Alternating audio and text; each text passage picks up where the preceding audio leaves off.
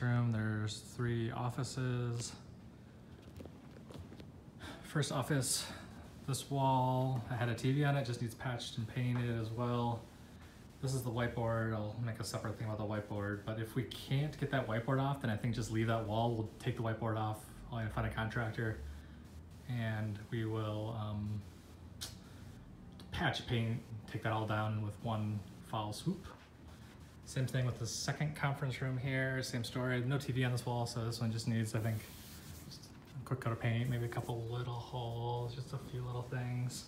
Same thing with the uh, whiteboard though, if that can't come down, then uh, I think just leave that one wall, do the rest of the room, and then it'll be good. Then the last office, no big whiteboard, but TV on this wall with some kind of mounting plates that should come out. Couple, you know, some drywall came off there, some paint came off there. Um, there's a little drywall screw, pull these things out and just get that um,